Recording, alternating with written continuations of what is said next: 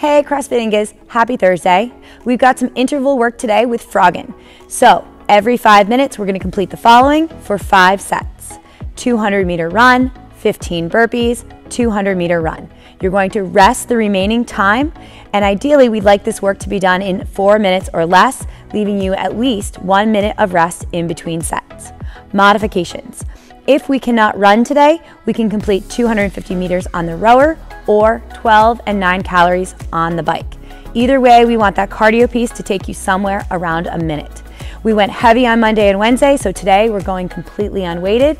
Today's the day to push the pace and use that cardio.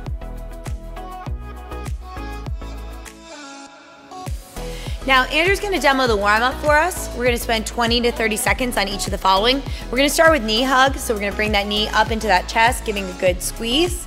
From there, we're gonna go into a quad stretch. So here we're gonna grab that foot behind us, either same or alternate arm, and pull up and back. From there, we're gonna go into a figure four stretch. We wanna support underneath the knee, pulling up, feeling a good stretch in that glute.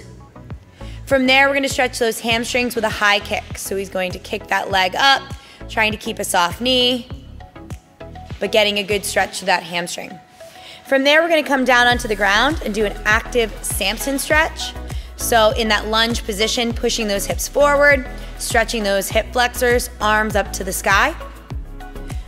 From there, we'll move into our active Spider-Man. So we're gonna take a nice step forward, foot flat on the ground, Touch that elbow to our instep and then reach up to the sky.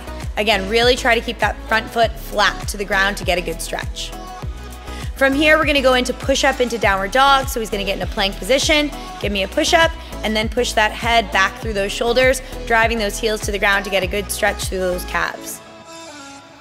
From there, he's gonna walk his feet into his hands, and now we're gonna jump up that heart rate just a little bit with some high knees. So short, choppy steps, staying on the balls of our feet. And then last but not least, we're gonna finish with those butt kickers. So think heel to butt. Again, escalating that heart rate just a little. Strategy for today's workout, Froggin. Gravity is gonna be your friend on both of these movements today. Rather than fighting it, let's use it to our advantage. Leaning forward a bit at the ankles more aggressively and trying to take more steps can help you run faster with less effort. In the burpee, don't resist on the way down too much. Flop to the ground and do most of your work on the way up.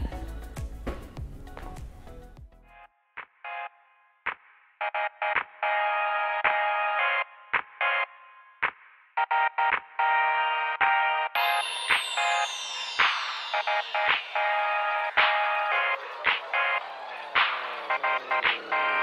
you.